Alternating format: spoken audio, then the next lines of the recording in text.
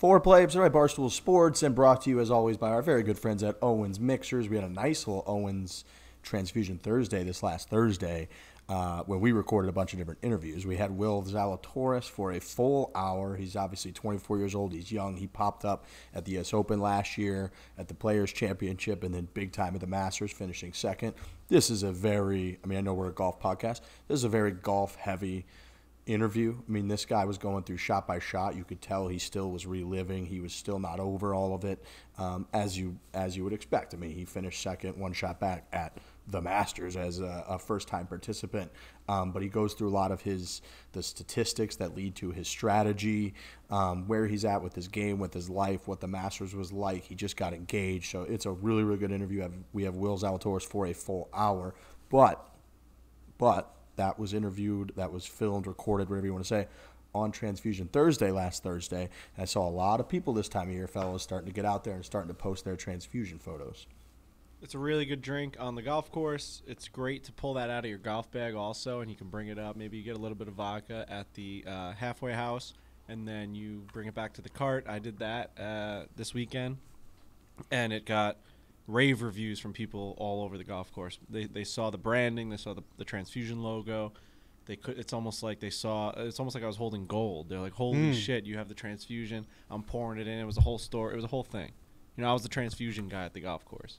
You so, were, yeah, you were, you were bringing it. Like Frankie was bringing. You were Santa Claus. You were like, well, that's uh, what Owens really Mixers does. Good cocktail Santa Claus. They turn you into this like mixologist. Like we've said that before. It's super easy. You don't have to know how much grapefruit, how much grape juice to use how much club soda to use, uh, how much vodka. It's just all made for you. You know, it's perfect. perfect. It's a perfect drink.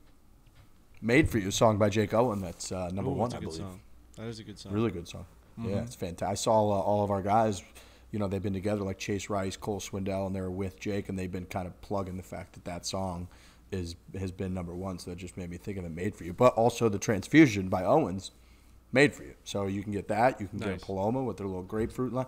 They got a lot of really, really, really good uh, mixes that you just pour in with your favorite liquor of choice. It's that simple. You become a mixologist. You impress your friends. You impress yourself. Maybe a girl, maybe a guy, whoever you want to impress. You can just do it. And if you just want to learn and have new drinks, it's great for that too. So big thanks to Owens Mixers. But yeah, Will Zalatoris, great name, really good guy, very clearly into golf. And what I mean by that is he was willing and able to go through shots, decisions. He goes through what his whole morning was like on the days when he was teeing off, you know, Saturday and Sunday, one of the last groups or the last group. Um, you know, what he did all morning, how he tried to kill the time. Guys, you know, traditionally try to stay up late if they have an early tee time so that they don't have to kill the whole morning. Like, we got into it with Zalatoris about the Masters, and it was it was fucking awesome. Yeah, he's he's the man. Um, I, I want to go back and listen because we did this on Thursday, and I want to go back and listen to. By the way, I have a. Do you hear like how my voice is just a little bit like something going on? I just had a vinaigrette salad, and I feel like the vinaigrette, uh, balsamic vinaigrette dressing, is like getting caught in my tongue and my. I sound very um, almost like Fleming. Hmm. You know? Can you notice that uh, Frankie has a sty, Riggs? He's been I, talking about it all day. I got a sty in my. No. I think I got it in a no, bunker. but but you guys are far enough away that I can't really see. It's the type of thing where once I mention it, all you stare at is my sty. It's crazy. I, I was teabagging the shit out of my eye last night. Um, right, like I agree. I don't think I would have noticed it, but he came into the office and didn't even say hello. First thing he said was like, "I got a sty on my eye," and now it's the only thing I can look at. That's what I, I always Eminem myself because like I know I'm my own worst critic. Yeah. So I'm immediately thinking about what everyone's thinking about me at all moments. And now you're thinking about the voice thing. Now I'm thinking about the voice thing. Right. So yeah, I, we just uh, talked about this this morning. How I just talk about things that don't need to be said because I think, oh my god, everyone hears my voice is so phlegmy. Oh my god, I have to say something. Right. You know, they're like Frankie. No one fucking cares. Yeah, right, I would I say you're you're well known for being you you speak about things that don't need to be spoken. And no about. one gives a fuck about it. They're just like keep yeah. talking or just don't talk. Just fucking shut up. I will say I feel I just did the thing where I thought if I leaned in closer I'd be able to see, but it doesn't yeah. make you closer because you guys are just that it's far like, from uh, the screen. One time no I, I was watching I was watching a game with my friends and someone was standing in front of the, the camera. I guess it was like in the actual on the actual TV. Right. And they moved over to look around the person. Doesn't work that way. It's like that just didn't work. Camera's staying where it is. Right. You moving to the right didn't do anything. That that may be possible in the future at some point, right, but it's be. not possible 3D now. TVs. Yeah. You know, virtual d- dimensions. Anyway, I want to go back and listen because he said something about Um, he goes pretty deep into this, is hitting the middle of the greens as opposed to going for the pin, um, especially on par fives and stuff. Like to try and reach the green in two, to just like hit the center, the fatty part of the green. And you know, once in a while, you make that bomb putt for an eagle, but you know, you take your four and you walk away. Stop trying to go for these ridiculously hard pin placements, um, because he would fi- he found when he went back at the analytics that he was actually scoring worse when he would go for pins, which is super interesting to, to go Well, back think with. apply that to your own game. And I've heard you say on the golf course, "Why am I aiming at pins?" So I did it this weekend. So we listened, we interviewed Zalatoris, and then I found myself on like the ninth hole of a golf course. I had just missed like eight greens in a row, pin high, because I'm going for like the right side of the green, and I just tugged it a little bit, and I was in a bunker, like fucking perfect distance. I hit it, I struck it well, but I just like didn't hit it like, per, like right in the spot that I wanted to, maybe a, a yard or two to the right.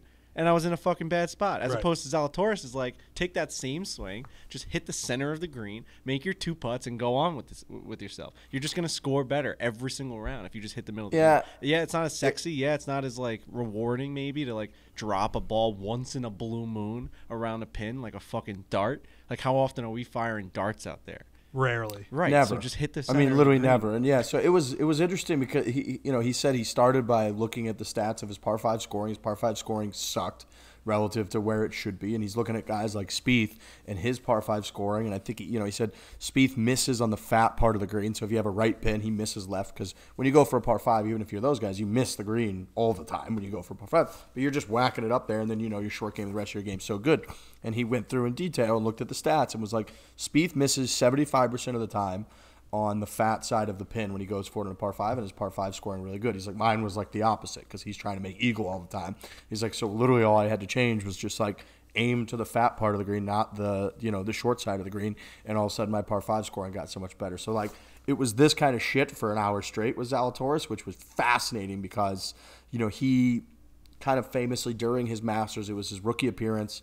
You know, uh, really nobody. Uh, one time has somebody really truly, if you don't count like the 30s, won the Masters in their first attempt. So for him to be second place, one shot back, um, everyone's like, how did he do that? And his thing was that he had basically by using this statistical approach, decade, um, this guy Fawcett, like he had learned core strategy for Augusta National through research and numbers, you know, not needing to play it for 15 straight years and so him applying that and going through a lot of that was just it was very different than the way that any of us have ever thought about anything golf related ever Dude, also the thing that I think will resonate with people the most is if you aim for the middle of the green and you do tug it or push it a little bit from that initial spot that you were aiming at, you end up like sometimes getting lucky and just hitting it right next to the pin. Right. He talked about how a couple times where like, oh, what a great shot by Zalatoris. And he's like, I fucking pushed that thing 15 feet right of where I wanted it to go. And yeah, it ended up by the pin, but like I was just trying to hit the middle of the green. Yeah, he talks about how some announcers will be like, "Oh, Zalatoris is so aggressive." So aggressive, and he's like, yeah. "I made a mistake." Yeah,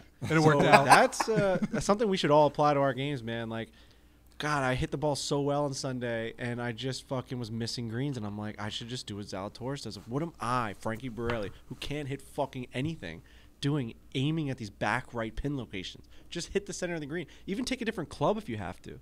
Like if the if it's a huge green, it's a back pin placement, but you know you can hit, and usually and maybe that's like a a six, and you're gonna fucking hit a draw in. Take a seven, just hit the fatty part of the green. You know what I mean? Like I'm just gonna start doing shit like that. dude i will I say I'll i just had play better. like my last round out on the 10th hole i had a little like nine iron in from 142 or something and it was a right pin tucked like right by this bunker and i was like i'm gonna aim about 20 feet left of it and just and i just hit this like push draw that started right at it and just ended up right next to it. But he's like, what an unreal shot. And I was just like, thank God I didn't say out loud that I was aiming 20 feet left of it because that was just, like Zalatoris said, it was just not where I was aiming. But you buy yourself that cushion when you, when because I was aiming right at it, I'd be in that bunker and that's a bogey or a double. But instead, aim a little bit mi- middle of the green, hit one right at it, don't tell anybody, and then you just claim that it was a perfect shot. It really comes down to who do you think you are, like aiming at pins. We all think we're better than we are when we're when we're standing over a ball staring. Especially when you hit a fairway. You're in that fairway. It's nice and it feels good. It's squishy. You got a nice shiny golf club in your hand. The ball's sitting up pretty.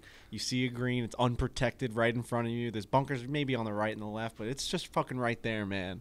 And we're all like we're pin seeking. I just made a fucking 11 on the hole before, and I'm pin seeking on hole 10. It's like, what are we doing out here? So yeah, no, we need to just That's the mental side of the game, to be honest. Yeah. That's just it's all mental because the swing's gonna be the same.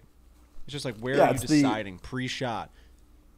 it's like the course management and strategy to the game that you don't think about, right? Like these guys on tour too, they all hit the ball so well that you wonder, like, how could one even actually beat the other one like any given week, or how does somebody?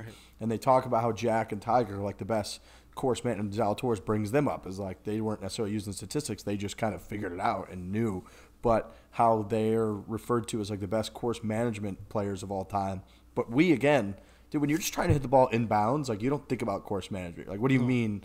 I'm not managing anything. Like, I'm trying to manage uh, keeping a ball in play so I can hit it again. But but that little stuff and breaking it down in such like minuscule kind of compartments throughout the round can make a huge fucking difference. So hearing him talk about that for a while um, was cool because it was so unique to any way that we've ever thought about it. Um, I I got chirped this week because I pulled out a hybrid on like a par four with the wind kind of in our face because there was these hedges and a fucking railroad station to the right, and I like yeah I wanted to fucking play well, and everyone on the tee box like oh Frankie's trying to go low today. I, I mean I pull, everyone else has like a big stick and they're fucking trying to just hit drives. You're out there to play golf, and I took a hybrid. I felt like an asshole. it's like the third hole of the day. I'm like, I'm hitting hybrid off the tee. Everyone's like, look at this guy. Look out, Frankie's. Look out for the course record. Frankie's taking a hybrid off one. Course management's back. And when you're just being smart. Super, super smart. Like, do you Yeah, some days do you some days wish that someone would steal your driver? Uh, or like when the other day when you you know misplaced your seven iron, I think I remember you saying like I almost wish it was my driver. right, Because, because you just like wouldn't make that many mistakes. right. You know, how often do you like when when, when you want to like? I just think of course management is you're hitting a club that you're just super like you're really confident in, and I don't know why that's like a pussy move. You know what I mean? Like I'm just gonna It's not. stripe this hybrid like I- just a little bit shorter than my drive, and it's gonna go right down the middle. Why would I take a drive that's gonna go onto the train tracks? Did you hit hybrid there? Yeah, and I actually pulled it, and I was in a bad spot. And they're like, if you would have taken driver, there's no there's no damage up there. You just would have been fine. That's fine. I was worried Yeah. you were gonna put No, you were gonna I- pull driver. No, I didn't. Okay. No, I stuck to my guns. It's just smart. I don't. I mean, it's not. It's. I would say you're a pussy if you call that a pussy move. Like that's Right. just. That's like being like you're just a hardo if you're saying that to somebody. What are you talking about? Just hit a club Right. that you want to hit to put it in a good spot. Like we got the video coming out tonight, 8 p.m. Eastern, YouTube channel. Go subscribe, thank you. Uh, from Sand Hollow, and I remember on the back nine, like I was playing really well that day, and on the back nine, like every hole I looked at just didn't didn't look like it. There was a lot of room to miss, so I just hit three iron the whole back nine basically. But it's like why why would you bring in driver and bring in trouble or hit it out of play if you don't need to? Is that because you're a pussy? No, maybe you're just fucking smarter than other people in that in that moment. Dude, what we did in California this last week, ball and hole, was has really changed my outlook on golf. Like I hadn't played ball and hole that seriously in a long, long time. Like usually when you get a gimme, it's like you were gonna make it ninety percent of the time anyway. Maybe that once in a blue moon, you fucking like will rim it around the hole and you'll just miss it and everyone goes crazy. But fuck, man, like. I, I like whenever someone like picks up a ball now, I'm like, oh, I mean, like you weren't gonna make that, Right, you- Because I've watched us all just miss one and two footers. I mean, you guys may never give me a gimme putt ever again after watching me in California. I, So- I couldn't. You people will see it when the video comes out, but it's a train wreck. Dude, I Fully. when so now I've become like kind of an asshole because guys like just don't even want to hear about it anymore. We played on Sunday and um, I like to beat my one friend Andrew. I just love beating him, and he's it's just very like we have a very good rivalry on the golf course, and we were giving each other somewhat of gimmies like through the day. And on 18, like he had like a one and a half foot putt to just tie me. We were both gonna shoot like 85 or 86, and he legitimate I just didn't say anything and I just made him butt it and he fucking missed and I won and I'm like fucking ball and hole man. Like that is Right. that's the difference right there. I just beat you today because you couldn't make that putt. And if you play a full round like that you wouldn't believe how bad your score is. You would not believe how bad your It score is It is. much much worse. oh it just makes what the pros do that much more in- incredible. Like Right. we all everyone listening to this fucking does the, the pickup. You're playing in a match you're playing with your buddies there's a ball that's right on the it's, it's a foot and a half out two feet out you take it you, you do your little scoop with your putter and you put it in your pocket But if you play and one, then you post a 79 on your fucking GHIN like that's for the just what we record, though, That's what golf- for the record, everybody should do that. Like Right, for they pace of should. play, for enjoyment of the game. Yes, like, everybody should do 100%. that. yes, Right, they should, but, But I just know listeners are gonna be like, "Well, that's not golf. Like, you don't put the fucking ball in your pocket." It's you- like, yes, you do. You everyone fucking does that, and they should do that. if you play one round ball and hole, Oh. it will change things between you and your friends. It will. about Yeah, what and- putts you're going to give them. But like this is the way, like the way that that we're used to playing and how most people play is how they literally only play over in Scotland where the game was invented. Like when you go over there, they actually only a lot of times they only give you match play scorecards. They don't even have stroke play on there. It's just match play scorecards because and it has like next to the whole number, it has like the stroke, the match, it literally say like match play strokes so that you know where the strokes fall because everything is match play. Nobody in their right mind wants to be out there grinding, like fucking lining up the, everybody's ball for two and a half feet. Like, who gives a fuck? Nobody, like, G4 has the hat. Like, no one cares what you shot. So, in reality, like, unless you're some hardo that's going to be out, like, like measuring your dick against everybody else's dick, guess what? Have a match with your friends. If you're out of the hole, pick your fucking ball up, and it doesn't really matter that much. So I think most people should play that way. It gives you enormous respect for the PGA Tour pros. Like they can't just walk off a green until their ball goes in a hole. And sometimes, like that Ernie Els clip, we kept kind of like referencing that when we were doing our ball and hole. You know, couple days in the U.S. Open courses of like when he seven putts the first hole at Augusta to make a ten. You're like, you know what? I can see that happening because when you lose like that motor skill in those moments to just put the ball in the hole, there's no way to get it back. You're just like, I can't roll the ball into the hole. I can't You do it. You just don't know what that feeling's like until it starts to happening to you, and it happened to me a bunch of times at Olympic and Torrey. And you you know where you are, you know where the hole is, and you just you just know it's not going in. I kept saying it felt like I ate really spicy wings when I was standing over the ball. Like my my sinuses were clearing themselves out, and I just could not get that ball in that The hole. heartburn Again, of a 20-year homicide detective. for real. And again, people will see this when the video comes out, but it's just it's it's a nightmare. But ball and hole is very tough. Dude, and then you look at a guy who fucking shoots a 65 out there on tour, and you're like, holy fuck, that's fucking ball and hole, man. That's you know what I so impressive. It's just ridiculous how impressive that is. It's just ridiculous. It's uh, I remember like I was the first club, Granite Links Golf Club, which, we've talked about. It's like semi-private, and they had a really good like join as a under thirty year old right out of college. So I joined up there for a few years. Lurch was up there all the time, and they would do the club championship, obviously, like once a year. And it was the one time where ever, I mean, everything's got to go in the hole. It's the same kind of thing. And it was very funny how different people's scores were from, you know, their handicap and what they typically post with the boys every Saturday or Sunday to club championship. Some of that's tournament golf, but also it's like when the ball just has to go in the hole, when it has to go in the hole, you just add a couple strokes to your score every time. Like no matter what Dude. happens, you're going to add a couple strokes. when I touched down in California, in my head, I was like, I'm like a 105 golfer. That's like what I'm shooting now. When I'm playing with Frankie, I'm around 105 pretty much every single time we play. Ball and hole, it's a much different number. It's just a much different and it's a much higher number. It's Yeah, scary. tough. It's a hard Um, game. Folks should be getting out and using the Barstool Golf Time app, by the way. It is the best app to uh, book tee times. Worked very hard on this thing. It's our tee time app. It's what we want a tee time app to be. We're getting more reviews up there. We're allowing people to post their own reviews. We have a reward system coming out very soon. So the more tee times you book with it, the more that you use it, the more benefit you're going to get from discounted tee times, free tee times, merchandise, etc. So Barstool Golf Time, go download that puppy and use it right now. Right now. It's a really now. good app. I mean, it's uh, review-based golf apps are the the way of the future when it comes to like knowing where you want to golf. Right? It's it's no more looking up online. You have to find the the website. You like sometimes it's it used to be a grind to see updated pictures and, and information about a golf course. You'd show up, place would be dead, the greens would be ripped up. You'd be like, "Wow, the fucking picture on the website had a had a fountain, a water fountain, and like doves flying all over the place. This place looked incredible." Meanwhile, that was like 1985 when like the golf courses were booming, and like you know the fucking stock market was through the roof, and they had a lot of money. And now it's fucking the place was like, uh, that's happened to me before on Long Island. Like this place, like you saw a tumbleweed go across the fairway. I couldn't believe. I mean, it's just lies. It's like just- dating profiles. It's just a lie, right? It's like yeah, I, I got showed, catfish. I showed up and I found this. You know, this is not who you are. That picture's from 20 years ago. You don't want to get catfish on the golf course, and up to date reviews and pictures um, is the way to go because guys are. And the more we use this, the more that you guys share this app and download it and use it, the more information you're going to get. We saw that with the pizza review app. In the beginning, it was very like one or two guys would review a pizza place, and like those were the only pizza places in town that had a review, and like they were like, all right, we got to go to that pizza place, even though they weren't the best. The more reviews that come on, the more you really start to see the winners rise to the top It's like a true database. true database. It's real data. It's our fan base, and our fan base knows golf the best. So, download it, use it, use the rewards that, that are going to be coming out. Um, it's a must-have app. Uh, shout out to listener Dave, who got his first ace over the weekend at Canoe Brook, the South Course in Summit, New Jersey. 10 hole from 184 yards. He hit a seven iron. Got his own ace. Sent us a little email with this picture, which I love. Just like so jacked up. He's like, you know who would like this?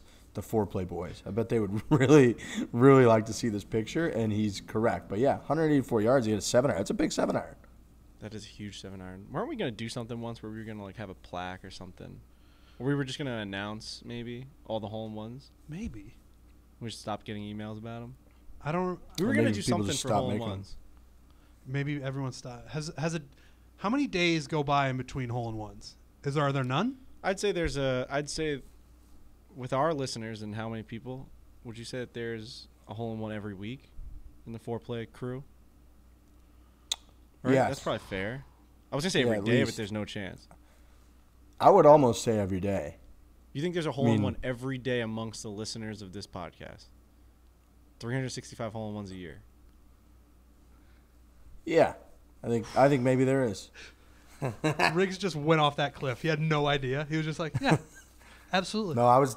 Yeah, it's like I bet the numbers wise it might be, but reality it, it isn't. Right? Like I think there's more than 365 holes in one in a year from our listeners, but I bet you could find days or stretches where there's listeners. just none. Right? You th- yeah. There's there's bigger breaks than uh, every day. I agree with that. It's also tricky for everyone listening because they don't know how many people listen to our show. So we're Right. everyone's being a little coy Well, with it this, right now. This is kind of funny. well, this is kind of like well, this is what we talk about at, at our desks. But I asked if there was a follower of mine that had murdered someone. Yeah. Do we think that I have a murderer following me? And then I said I probably have about ten. Right? Like I mean, So you've got what? How many followers? I think 180,000 or something Okay. like that. 186. Like, do we think that there's 10 people that follow me that have committed murder? Do you think there's one person that's committed murder? There, I- there for sure. There's one person that has committed that has taken taken someone's life. My gut says 10 is too high. But maybe that's just me being hopeful. well, um, uh, I mean, Yeah, but no, Uh, like I'm not gonna. I mean, I know he's, but I'm looking at OJ Simpson's Twitter account right now. I mean, he Who's he- follows 34 people. So those 34 people right there. I mean, they've got instantly. They've already got somebody locked up. That's such a good point. that's a great point. I mean, Like- I know it's only 34, but come on. that's I mean, that's lot one of I could people. just see. I could just like see that right now. And I, I and I want to let the listeners know that I don't want to know who you are. You know, I don't want to know the answer to this. I Right. don't. Because if you let me know who you are, then I, like that's a problem. It's then up to you now. that's a problem then. Yeah. Like I don't need to know. I don't need to know. So I uh, almost wish we would cut this. it's almost I don't what need are these mur- murderers like, reaching how out come- to me, being like, "I don't need a murderer reaching out to me." Like, yeah, I follow you. that's a that's a fucking problem, man. Yeah. That that's a slippery slope, dude. That's heavy. That's a fu- yeah, Yeah. dude. I follow you, and I fucking killed someone for sure. I follow you. You're You next. just It's brought like, that. holy You mean fuck. I mean, Jesus Christ. you just No brought that on yourself? That you just brought that fire to yourself. All you as well, too, though. You know, you guys have more I didn't than do. me. I didn't. I didn't. That's your it. You're hypothetical. or it's yeah, and your you're a part of the goddamn show. Tweet at Riggs and Trent too if you follow them. I feel No. re- I feel real nervous energy coming off Frankie right now. like he is he's upset at himself that he brought this to the podcast. Because murder's no joke. no. You know, that No. is no fucking joke, man. That's Also, that's what real are these? deal like, bad shit. Why are these murderers on Twitter? Shouldn't they just? They should be in jail somewhere. I mean, right? True. Yeah. True. Or on like death row or something. They shouldn't. There's a lot. There's just a lot of questions. Like, yeah, if they've done it and they're still following you on Twitter, that means they're free, and that's a problem. What um, like, what percentage of murderers you think in the United States get caught? Like a huge percentage, right? It's like really hard to get away with murder. I also asked Trent this because I've I've been on a rewatching of Peaky Blinders kick, and best show like probably one of the best shows ever. If Very you think good. about just how how many good things happen, plot wise, in each episode of of Peaky Blinders, it's astonishing. It should be mentioned more in people's top five. It just never slows down. It never slows down. Right. Always a, a main character is into something, whatever. Really good show.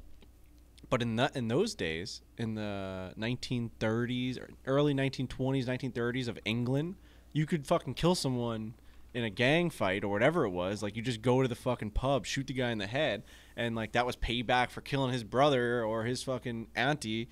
And it's it, no one got caught. I mean, they uh, the police were paid off, the whole thing. I don't think you can commit murder like that anymore. I think that's the, the days of that are done, Surveillance cameras, I would say, most likely put a big dent in all of that, right? and DNA Yeah. testing. like old Yeah. school mafia and like the old, you know what I mean? Like Yeah, throwing people in rivers and shit. I just don't know that that's even possible anymore.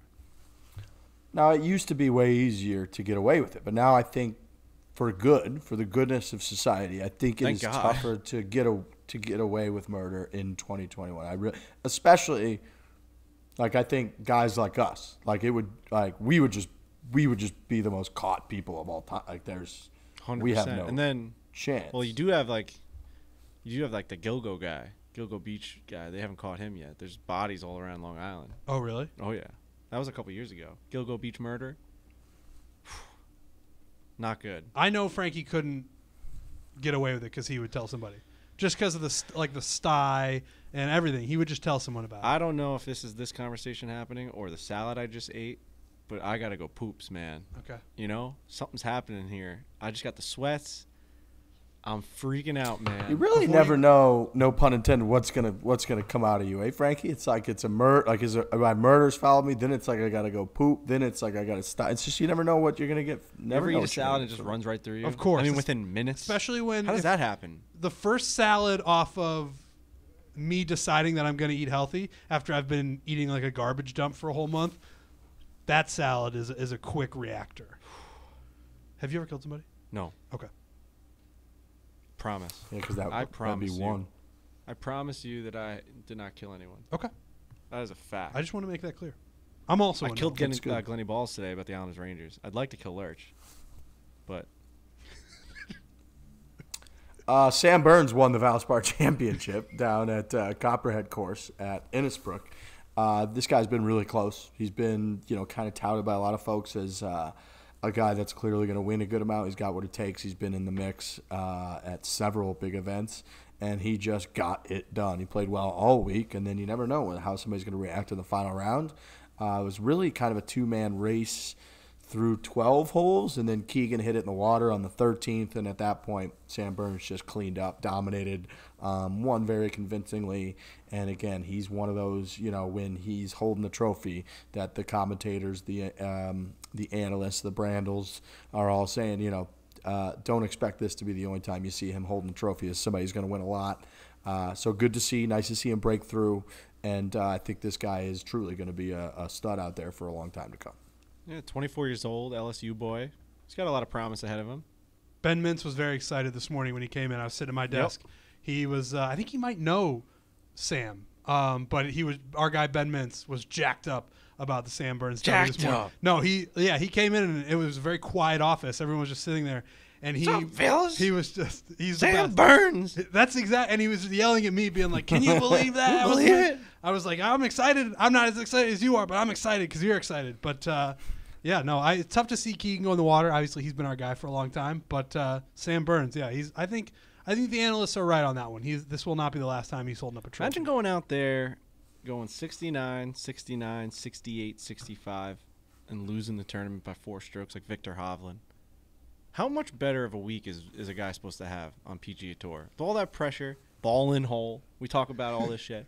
69, 69, 68, 65. 65 on Sunday. I mean, we've been talking a lot of. fucking grinding out on the golf This course, has been and he didn't even come close. This has been a common theme with guy like our guy Joel Dahmen winning. We just we talk about how hard it is to win on the PGA Tour. You can put up four scores in the 60s and still lose by four Low strokes. 60s. Right. 68, 65? Come on now. It's hard out there. You all, you also like, you know, you just like Tony Finau, for example, right? If, he just four or five of those weeks, if just like one person just hadn't played a little bit better, like if the, if if one person each one of those weeks just had made like two or three less birdies, right? Like if two or three less of those twelve footers just rolled in, then Finau would have won like five tournaments in the last couple years. But instead, it's so hard to win that he just can't fucking win. And like you said, like when you when you just announced those scores, Frankie, I was like, oh, that must be Sam Burns scores because like he, that's just someone who wins, and he just didn't win. He posted those numbers and finished tied for third. He was never really had a chance on Sunday, and that's amazing because those are really good scores. And these guys are so fucking good. Like you can't even Monday qualify. Like if you sent, if you sent you know, Jon Rahm out there today, he might not Monday qualify for any of these PGA Tour events. You got to shoot like 62, like a crazy person. And then to win these actual tournaments, when you go out to a course like that, the Copperhead course is impossible. It was firm, especially over the weekend. Balls were bouncing over greens, playing everything in the fucking hole. It was windy on Sunday. There's water all over the place, playing it from 70, however many, you know, 7,000, however many yards, and finishes 13 under par with scores like that. And he's just tied for third. That's Fucking amazing. Criminal man. It's just crazy. It really is astonishing how well you have to play to win these tournaments. It really, really is. This this is a little off topic, but did anybody else get nervous a couple weeks ago when Finau and Cameron Champ were near the top of the leaderboard at the Zurich? Like I don't. That's not the one I want Tony to win. Like I, I don't ever want to root against Tony Finau, but I don't want it to be the two man tournament. Like, because then we have to have the discussion that I guess we're gonna have right now, where it's like, yeah, he won, but it was the Zurich, and before that it was you know the Puerto Rico event. Like I need him to just win a full on. I don't want to say real PGA Tour event, but a real PGA Tour event by himself. Agreed. He has to earn it himself. Tony Finau needs to go out and win. It's an individual sport. Had he won, he didn't. Had he won as a team, it would have been a little tough. But it could have been like a nice little stepping stone for him to get the, you know, to get it out of the way and the floodgates open, and then he starts winning a lot. I wouldn't have hated that. But it wouldn't. Have, we wouldn't have been sitting here being like Tony Finau. He finally got that win. Especially if like if it wasn't even him, it's like his partner Birdie's like 17 and 18. I mean, I know was alternate shot, but like partner like hits one tight on like 17 and then like Right. stuffs his second shot on 18. Like, yeah, then you're kind of like, dude, did he he even win? He just was there for the other guy hitting six shots. Right, like if, if if Champ had been burying putts, like the one thing that Finau can't seem to do in the moments where he needs to do them, then we're all just like, well, he just he was the replacement and he, he carried you through it. So I'm not I don't want to say I'm glad Tony Finau didn't win that tournament, but I think it it saved a lot of conversation around what's next for Tony. Um, I got to give credit to Bryson DeChambeau's uh, Twitter account, which tweeted out a picture of Sam Burns and wrote, "A dream come true. Thank you to my incredible support team for helping me get to this point. Looking forward to what's to come." Tagging Callaway, Adidas, Mastercard, and his other sponsors that are clearly Sam Burns sponsors. Um, you do see stuff like this that occurs, but clearly just the same, whether it's PR or social media agency, is representing both of these guys, and the person just tweeted the wrong tweet from Bryson's account. And it was very funny when this came across.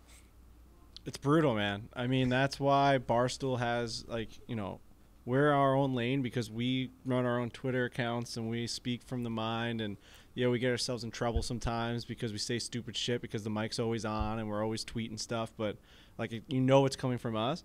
And the the thing that I hate about like other fucking Twitter eggs and all these people like Geoff Shackelfords and all these like buttoned up people and even these athletes that are just like like they're paying someone to tweet for them because they don't like know how to have the voice that everyone's gonna like and love. And it's like what are you doing dude? Like how are you letting someone log into your account to write that tweet? Like I, it just drives me crazy that like he can't just be a real person take control of his own life his own brand his own image and like his own twitter account can't be him now now every tweet is just like we just don't think it's bryson I will say there is a side to me that agrees with them. Like if I were that good at the game of golf, I would just say I'm going to handle the golf. Like I'm going to do really well at this. Like we're saying this about social media because we are somewhat good at being on social media. Like we've just Yeah. grown up. This is our job. We know what we're doing. We've watched other people do it enough where we're like we sort of know what we're doing. But if I were a Bryson or or a Sam Burns, I think there might be a part of me that would say I'm going to kick ass on the golf course.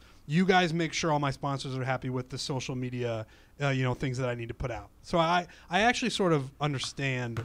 Like, I don't know if I would run my own Twitter account if I was Bryson DeChambeau. It's yeah, but then like- I would almost like say like then are. I would like prefer they don't even have one or they Right. don't update one, right? Like they don't. He doesn't need to tweet out "Congrats, Sam Burns." Like he and he didn't even. He was so. uh, I just think like we're we're not fucking idiots. The people that follow us aren't idiots. They can just sense if somebody's is really them or really isn't, and so it would be better to just not even have a presence. Like yeah, have an account, sure, and like post some sponsored stuff here and there that like you're part of because you're clearly in the sponsored uh, aspects of it and the videos that are shot. But like fake running one is worse than just not running one really at all.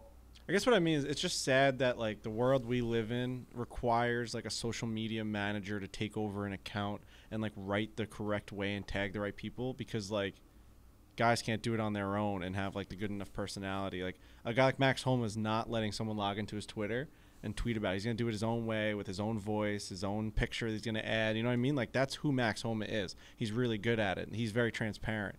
Like I, you know what I mean? It's just very Yes. different, and it's very just like stuck up, douchey to just be like I don't know. It's just different. I don't know. I you just know who? You know who had the best? Bryson just throws me off. for sure. You know who had the best tweet coming out of the weekend? Dustin Johnson. what did he say? He Yeah. said, "Thank you at Val- Valspar Champ for the great event." Period, and then just a picture of him and his caddy, Amazing. King.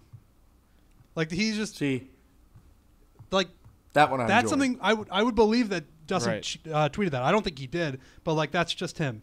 That's someone that knows him that's running that account. Right. That's someone who's like, here's what he would say, and it's very little words. He's just like, thanks to the tournament, great weekend. it'll be it'll be fun to watch how the player impact program PIP kind of you know leads people to uh, doing different things as as it progresses where that 40 million dollars goes who tries different ways to get their their fingers on it. But i love that tweet from dj did not obviously like the one from bryson i think it was deleted in like less than five seconds. I saw somebody who who has bryson notifications on that got that and i think nobody else saw it. So um, so it is what it is. Social media it's where we live. It's not where everybody else lives. But that kind of stuff's very transparent very annoying. Um, Speaking of transparent, I I gotta be honest. I was never really a huge cigar guy. Only recently, or only maybe probably up until this last weekend, I'd maybe had seven cigars in my life, like single digit cigars. Usually an occasion thing, and that's pretty much it. But like a very special occasion, a graduation or uh, a certain trip or something like that. Um, Macanudo cigars came on as a uh, sponsor for the Barstool Classic, so I have this really sweet case that Frankie actually Instagrammed and tweeted about this past weekend, um, which is amazing. This thing's awesome. But uh, I had a little cigar for a bit. I was doing Thursday night during the NFL draft show, and it was so delicious and enjoyable that I finished the whole cigar Thursday night. And then when I played again on Saturday with a few friends, I brought my Macanudos and I fired these things up. Macanudo is the best selling handmade cigar in the United States. And our golf course experience with these Macanudo cigars, fellas, has elevated my golfing experience more than I ever could have imagined. It's a really good cigar. It's um, they have the white, the and and the red. Is it the red wrapper? The orange, the orange, Orange. is fantastic. Yep, I was having the white yesterday, and it was just it, it adds to the it just adds to the um, experience like you wouldn't believe. You you are living when you're walking down a fairway sucking on a macanudo. You just you look like you're in the right spot. You look like you're you're you're, you're the guy. You know what I mean? Like people look at you like that's that guy. Y- You know what I love about a golf course cigar? There's a lot of things, and Macanudo specifically, where when you're about to hit a shot, you have a couple of choices. One, you can keep it in your mouth, which looks cool. Which is really If someone's taking a picture, it is difficult, but if you can get it down and someone takes a picture of you, you're the coolest guy. But I also love the throwdown, where you're gonna you're gonna hit and you just throw it off to the side. So you can do that, and then the other thing is you can put it on a tee. So you put the tee in the ground, and you put the part, you know, that you're probably gonna suck on, I would assume, or maybe the lit part, so it doesn't get whatever. But you put one of the, or maybe you put both on a tee. I'd say the lit part up. right. So you're putting them on a Right, tee. so I you don't probably do it burn the you don't want to burn the grass, probably. Yeah. Right. Yeah, I guess so. I was thinking more of just like you don't want the the, the, the lighting part to be to go out because then you have to relight it. I have to learn a little bit more. We've taken a t- uh, we've taken a, a class in Macanudos essentially where they taught us how to light it, how to smoke it, how to have fun with it. And I just like I, I need to actually physically do it. I can't wait to get to a Barstool Classic to actually see them at the um, station where they they light the cigars with you and they're going to teach you about the cigars. But like yesterday, I had it and I just felt like I wasn't as perfect uh, around a circle. I maybe lit the bottom a little bit too much. The top was not as lit, and I couldn't really play with it. In like I, I'm, I need to learn how to smoke it better. I need to look better because like I was breathing in, I'm fucking like huffing and puffing, I taking also- a swing. Then you're just like coughing. It's also probably reps. You It's just, reps. It's reps. You, got- just keep doing it. You go out there, play golf. You fire up a Macanudo, and you'll learn. I would say for that travel case that I, I put it up on my Instagram story and so many people went absolutely nuts. I'd say keep an eye out for a nice little travel case um, for for cigars in the near future, maybe with some Barstool branding on it. Because I, nice. I I think that that travel case needs to be inside every single person's fucking golf bag. It is the coolest thing and it's a showstopper. And I think we're gonna put one out. Uh, the Macanudo Inspirado, they got the Inspirado White, the Inspirado Orange, as Frankie was talking about earlier. You can enter and win a limited edition branded golf set in humidor for your Macanudo Inspirado smokes at macanudo.com slash barstool. You got to be 21 plus only for entry, but macanudo.com slash barstool. Frankie was just talking about how cool a lot of this stuff is and that you need when you're out there and you're smoking cigars, when you're having a Macanudo, when you're being the cool guy on the golf course or girl.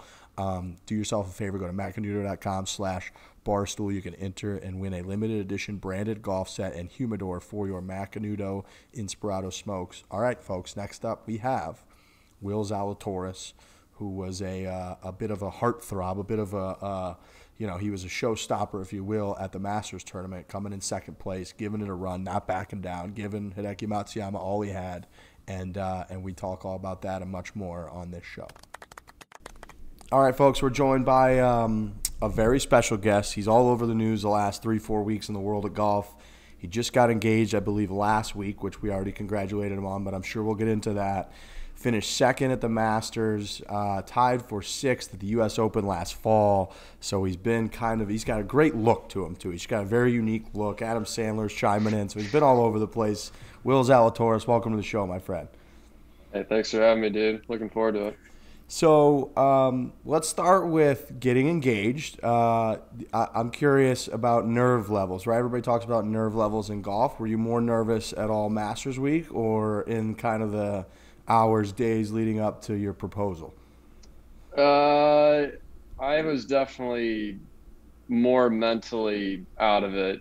I would say probably in the week leading up to the proposal. Um, it was kind of, it, we, it probably took about six to eight weeks to plan it all, and I had thought that I was going to do it later in the year, and I had gotten the ring a few months ago, and I was just like, I can't hold on to this thing for that long. I gotta, I gotta do it sooner than later. This thing's going to be eating at me.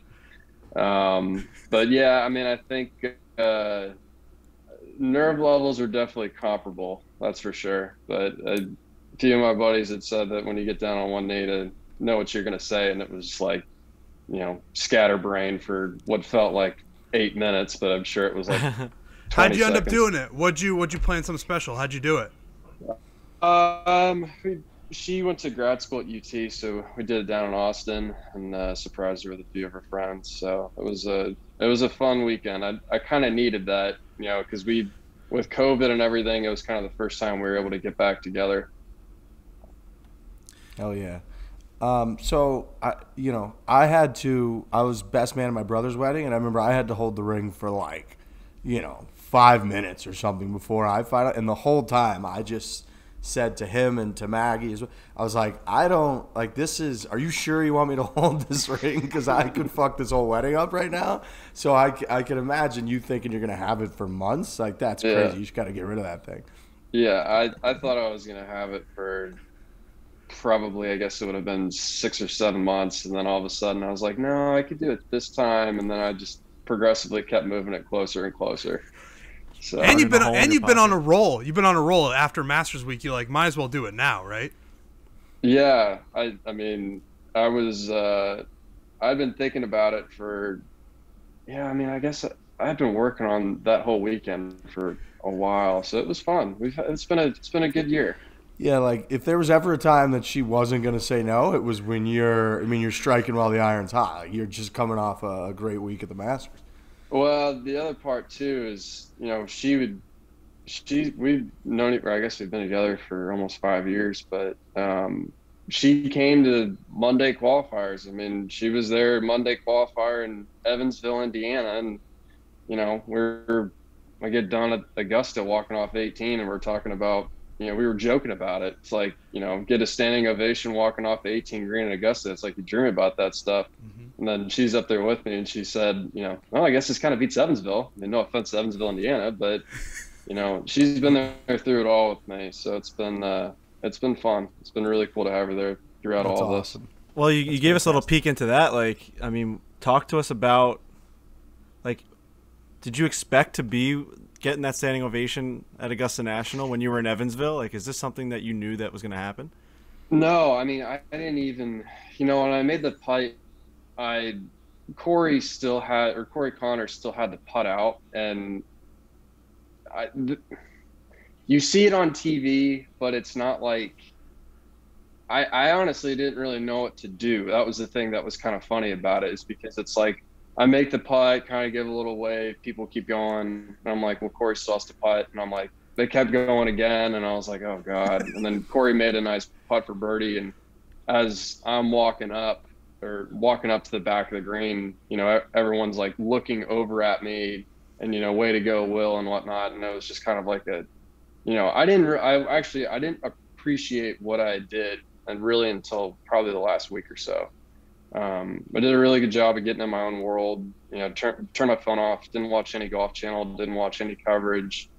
Um, and I think that was kind of a good lesson learned. But my whole point of that was it was like even on 18, you know, give my caddy a hug, and I was like, man, that was a fun week. Um, you know, bummer we came up short, and, but that whole moment of everyone, you know, standing up and, you know, congratulating me, but also just because I was the underdog and gave it a good run, I thought was, I mean, I'll never forget that.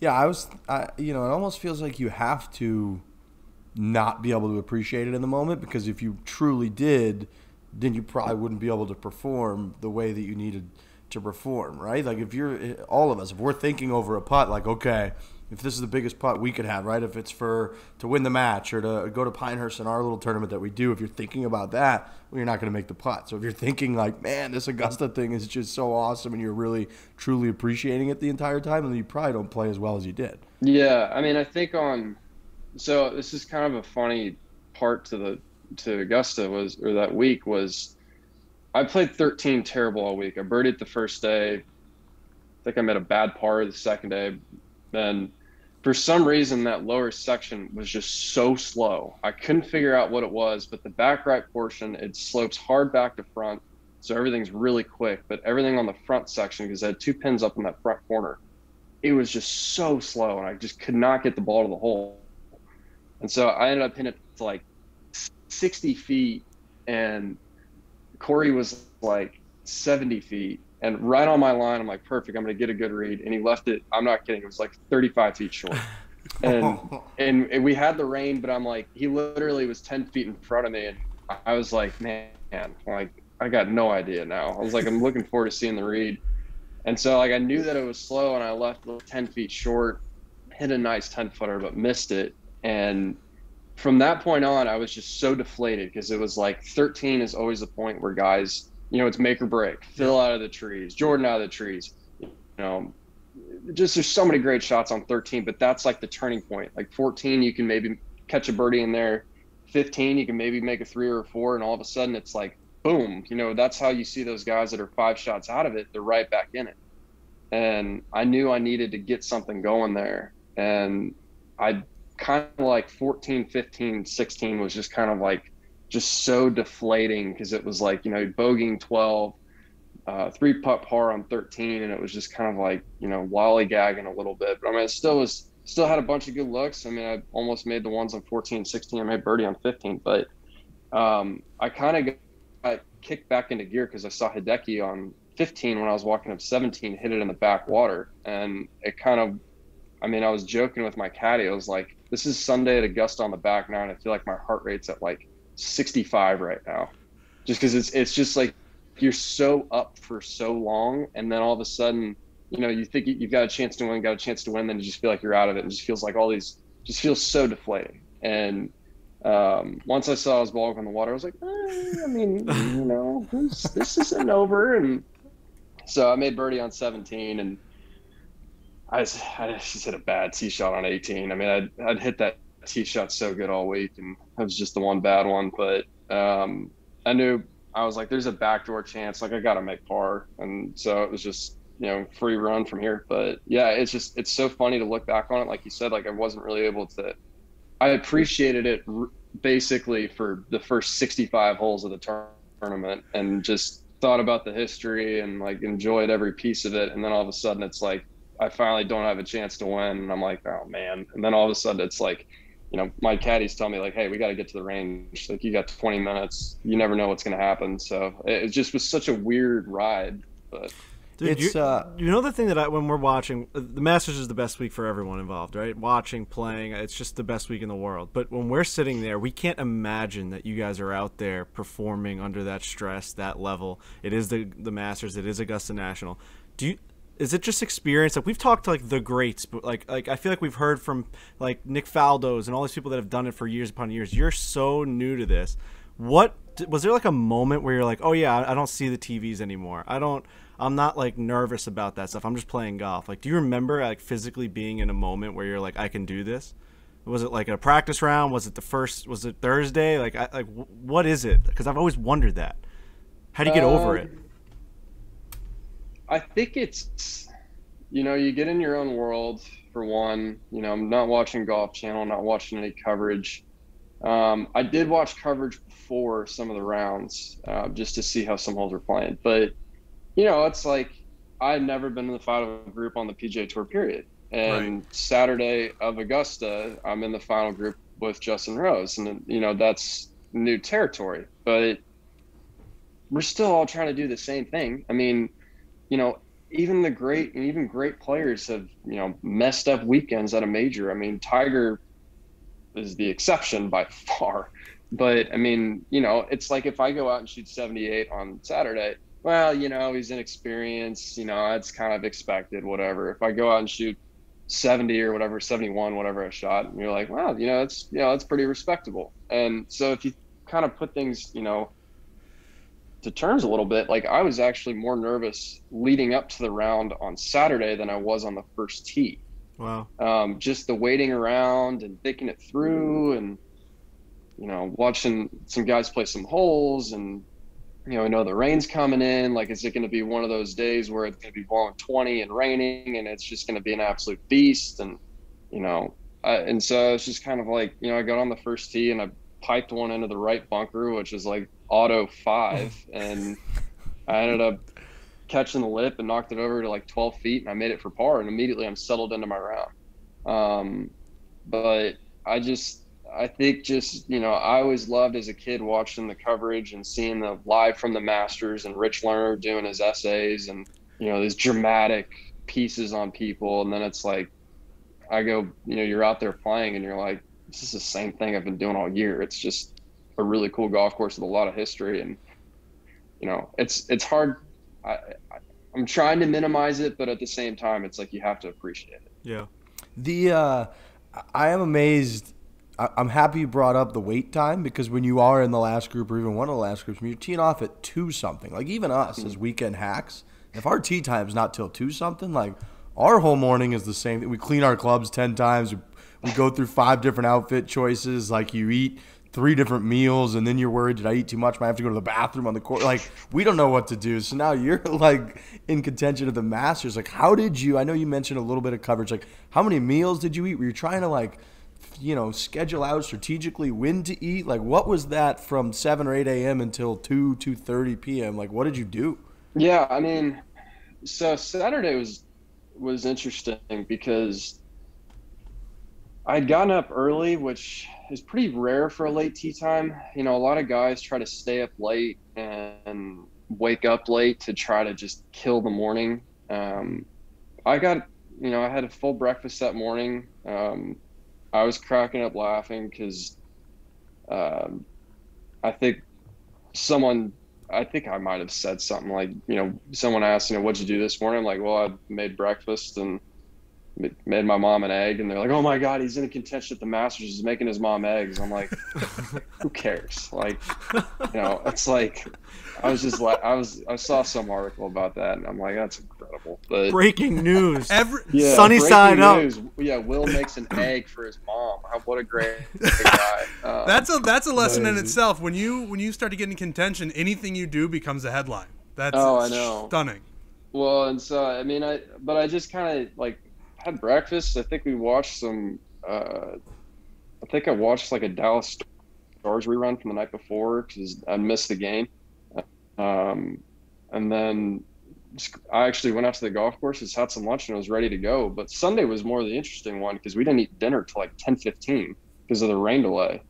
Um, so that was the one where I slept in super late, so it made Sunday. You know, I had breakfast, and then all of a sudden it was like, man, you got to get you know warmed up and ready to go and go have some lunch. And so yeah, that was definitely that was the harder of the two. I thought I thought Saturday was was tough waiting around, but Sunday was all of a sudden it's like, okay, you've been up, you didn't go to bed till like 12, 30 1 o'clock, you didn't eat till late, you know, you've got to be exhausted. So, but I handled it fine. And obviously, when you're running on that much adrenaline, I mean, you could stab me in the side and I probably won't even feel it.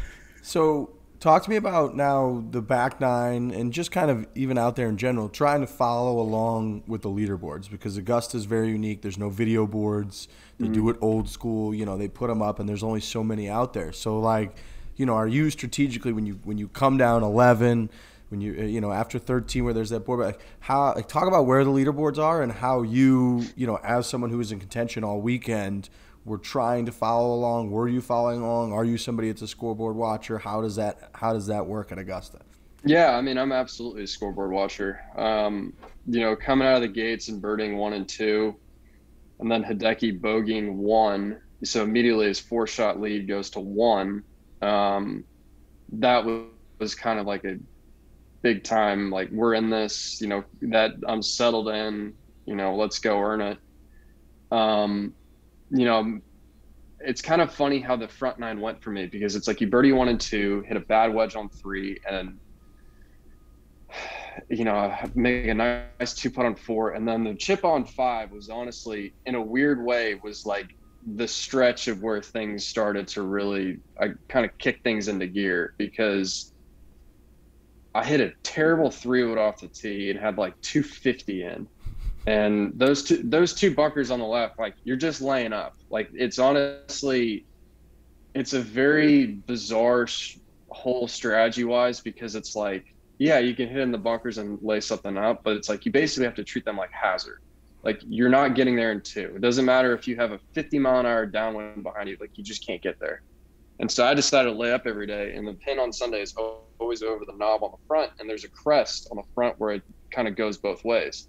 So if I hit this chip, like, you know, if I don't hit it hard enough, it's going to come straight back down on my feet, and I'm going to have a brutal two or two putt from there. If I barely push it, it's going to trickle 45 feet off to the left. If I go left, it's going to be 30 feet to the left. And it's like everyone, whenever you see it, they just gun it and it goes straight over the hill. And Mhm. I hit this chip just absolutely perfectly. And I, I thought I was going in the entire way, but that was one where it's like, you're to make five. And all of a sudden you make four. I make a nice two putt on, on uh, six. And you know, from there, it felt like it was off to the races. Like I just kept, you know, felt like I kept making putts and making putts and um, just made a stupid mental error on 10. But that's where, when I'm on, I see Hideki at 13, and I think I was at eight. I think I was at eight. And that's where it's like, you've got to make some ground on 13, 14, 15. Like, you've got to make at least birdie on 13, birdie 14, have to birdie 15 just to put some pressure on them. And, you know, I, you know, 10, 11, 12, you play the one over, I'm really not going to be that disappointed. And I played him in two, and it's just kind of like, whatever, you've got some holes to make up for it. And, you know, I, I had mentioned this before. It's like you've seen enough coverage the years where guys at 415, you've got Hideki at 13 and me at eight. At 430, Hideki's at 12 and I'm at 10, or you know what I mean? It's like all of a sudden, in a 45 minute span, there's there was only you know there's a five shot lead, and then the next thing you know, there's four guys that are uh, you know tied for the lead, and so I knew that, that just anything could happen. But and after playing 10, 11, 12, and two over, and then parring 13, that's where I knew it's like you've got to make some serious hay coming in here. It's uh, it's really interesting to hear it from you, especially you know when you mentioned like after the you know the second hole when you see you've made you've made a birdie like Hideki makes bogey all of a sudden the, the, the lead went from four to one because like that's exactly what we're thinking and exactly how mm-hmm. except you're like the guy. You're the guy on the leaderboard Yeah. thinking the same thing. It's it's it's like the same it's the exact same trajectory and, and thought process except you're the one actually out there doing it so it's cool to know that while we're following leaderboards like you're doing the same shit Yeah, I mean, and that's the thing is like it's not like I'm changing any strategy. I mean, you know, granted, if all of a sudden I've got a, you know, if I had a five shot lead, it's, I mean, I'm looking so far right on 16, it's a joke. But, um, but you know, it, it was just seeing how everything was playing out because you know there's there's like four or five guys that were tied for second um, and I was a couple groups ahead of them, and I had a chance actually on Saturday night on 18 to make birdie to be in the final group. Um, but you know, throughout Sunday, like it, it's just your strategy doesn't change. Like if you know, once I got to five or six back, that's where it's like, okay, maybe we start getting a little bit more aggressive because it's like, you know, if you finish second, at least I thought at the time, no, I mean everyone's gonna be like, "Hey, great tournament." You finish sixth, seventh, eighth, ninth, tenth. Everyone's gonna be like, "Hey, great tournament!" Like you're here to go win a green jacket. Like you need to go earn this. And um, yeah, I just I didn't. If anything, it's like once you get to that point, it's like you don't change your strategy, but it's like if I mess up, I mess up. Like let's just go have some fun here. And my caddy and I joked about it. We said, you know, the old military line of weapons free, boys. I mean, you know, this is, we're not leaving anything behind. This is it. Right. TaylorMade, our landing page is live. We are obviously TaylorMade athletes. We use the Sim 2s, we use their irons, we use their golf balls. That was really not maybe talked about enough last time when we were when I was obviously trying to highlight the parts of the game that I was actually doing well last week, which was chipping and putting. And the main reason that I'm able to get the ball up and down a lot is because I'm rocking um, the TaylorMade, the TP5, and my high toe wedges, and I'm able to get up and down a lot. It saves me a lot of strokes, which I love. But uh, our our landing page, where you go to TaylorMade, uh, barstoolsports.com slash TaylorMade, we have our funny pictures on there. But it's live. You can go check it out. And TaylorMade's the best, isn't it, fellas? It's the best. The balls, the clubs. I mean, seven the P790s couldn't be better fit for my game. I'm hitting irons like I've never hit them before. The, the Sim 2 driver is a cheat code. Um, You like the tour response balls. tour response balls are just as good as any ball you're gonna find. I mean, and then I say that because I, I fucking play them all the time, and then I got my hands on a TP5. Like I just reached into my bag and I had TP5. Yeah. And that's a fantastic golf ball. I mean, that's just a fucking real deal golf ball. Um, but tour response for that price and that like that um, category it's in, right? The more affordable golf ball. I think it's the best one in that level. I think people said like it took the old version of the other high end companies ball, basically all that technology, and put it into that. So basically, a couple of years ago, when you were paying the high price for that other company's ball, that's basically a tour response ball now, and you're getting it for half the price. So it's a really cool. Like th- I'm, I'm talking quality. Um, when they, when they when they say that, Yeah. so it's really fucking. It's a really good ball of tour response. Uh, there's a reason that like the best players in the world are using TaylorMade. That Dustin Johnson, uh, who is the best player in the world, he rocks TaylorMade. He puts the driver, the Sim 2, right in play. You saw it as soon as it was announced that that was actually a thing that exists because it's that good. So do yourself a favor, go to our page, check out our action. It is barstoolsports.com slash TaylorMade. Uh, I wanna I wanna hear a little bit about the kind of the um, decade and Scott Fawcett and the stats behind kind of your strategy. I believe you know he posted a text where you said you've given me I think like 25 years of experience in five days. Talk about sort of the approach because from my understanding, you know, it's it's basically using hardcore stats over decades to I guess, determine or help or assist or consult on core strategy and strategy, you know, out there. So talk about how you've implemented this and how it's helped you. Yeah, so that text message was from 2014 when I won the Texas State AM Caddy for me then. Um, you know, so like here's the basic premise that it's really helped me with is tour average from 100 yards in the fairway is 2.8. So you drop a ball in the middle of the fairway, a, a tour average player, it's going to take you 2.8 shots to hold it from there. So if you're to hit a shot onto a green where you're going to average 1.8, that that's 16 feet. So roughly 5%. So if you think about it, if you've got a pin that's tucked three or four off of an edge, you should be aiming a yard or two away from that edge more towards the middle of the green.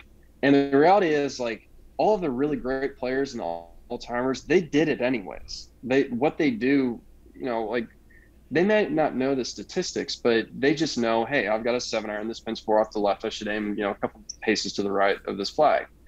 And what he's done is he's quantified strategy, and it's there's little things, you know, now that I've picked up on that have helped me a lot. Where, and this is the prime example was my first year on Corn Ferry. My par five stats were absolutely abysmal, and for courses where you got to shoot 25 to 28 under par to go in a golf tournament and not taking advantage of par fives, I mean, good luck. And, and you're a long hitter. You hit it pretty far. Yeah. And so what we had found was that I had been short sighting myself on par fives more often on approaches than I was from on par fours and par threes. So if you're to take the same yardage bucket, if you will, from let's say 175 to 250, I was leaving myself short-sighted bunker shots or short-sighted chips out of the rough way more often on par fives. And so we figured out that part of it was I'm trying to carve something in there and hit something tight and make three and be the hero. When in reality, it's like, dude, just knock around the green to 40 feet, two putt, maybe the one goes in, you know, the two out of a hundred times.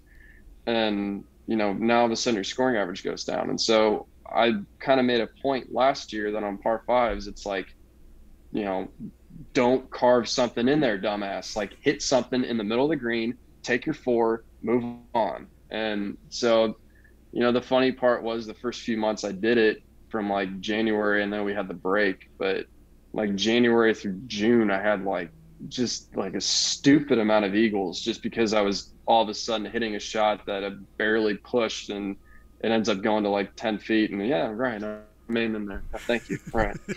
but um, but um, that yeah, that's kind of that's that's the beef I have some of these announcers like, oh, what an aggressive shot from Zalatoris. I'm like, yeah, I pushed it 35 feet. It's a great shot. so. uh, see, I, find that so fascinating because a lot of you know we'll go back and watch Tiger Tiger rounds, right? Just from mm-hmm. majors and and I'm always amazed at how unspectacular a lot of them are. Where oh, yeah. he right and like yeah, he has the moments that we go crazy for, but he's so patient and a lot of like you're saying like on a, on a par five where it's like oh Tiger's got 247 like he could he could hit this sick cut two iron in there or whatever now maybe like a five iron for you guys but and, and he just dumps one in a left bunker, and you're kind of like, all right, but then he's got a six sand game, and he gets up and down every time. When you add it up, all of a sudden, like, man, I didn't watch Tiger play unreal golf for the last four days, but guess what? He's got a one shot lead, and now he's better under pressure than everybody else, and he wins. Or even like when I when you watch Tom Brady, a lot of Tom Brady's, you know, big games for the first half, I feel like you'll watch him, and he just kind of throws it away a good amount. He doesn't fuck up. He doesn't make big mistakes. The next thing you know, you haven't watched what you thought was an unbelievable performance but he's in the game with the football in the last 10 minutes and he's going to win. And I think like that type of strategy is so it's fascinating to like you said quantify it because the best players whether they knew it or not were were doing that from a statistically proven standpoint. Yeah, and Scott's been a great friend. I don't endorse anything he puts on Twitter, that's for damn sure, but he's uh, he's been a great mentor and he's taught me a lot. But yeah, I, it's the same thing. Like you know, Jordan in 2015. It was like Jordan 2015, Jason Day 2015, Tiger 2000, 2001. They all had similar short side to fat side ratios. So it was like 75, 25 hitting it on the fat side of the hole, which just shows you it's like, you know, you break that down, you're like, okay, let's 75% is a number. the more we hear about the way you guys approach the, this game and, and all the numbers and analytics that go into it, do you think guys like us, like oh Bryson DeChambeau, like an apology for saying he's the scientist and he's the guy that's like going like you guys are all kind of doing this, right? Like you're all approaching the game in an analytical way. It's just like he's super just cringy about it on Instagram and stuff. Like like I guess you're all just taking the same approach kind of, right? Yeah, I mean, where it helps us is it helps us learn what we need to practice. So it's like if all of a sudden I'm you know, let's say uh, I'm, uh, you know, missing some five to eight footers, and I'm like, you know, this is ridiculous. Like I've got to go practice some five to eight footers. Well, then I go back and look at my stats, and all of a sudden my lagging or proxim or what do they call it, approach putt uh, distance is like just complete garbage. Well, it's like okay, well maybe you do need to work on some shorter putts, but it's actually your speed is your problem. You're giving yourself so many opportunities and just putting yourself behind the eight ball that yeah like this is why you're technically not putting well is actually speed. So you're able to like super see exactly what you need to work on. And even and, and so that's why like so i've worked with josh gregory and josh gregory he basically three two i was like two and a half years ago gave me a practice routine and we've stuck to it for a couple years and it's like it checks all the boxes. I mean, short putts, you know, mid length, working on big breakers, lags. But after every tournament, we're able to see specifically what the issue was, and I can maybe put a little more emphasis in one of those certain areas.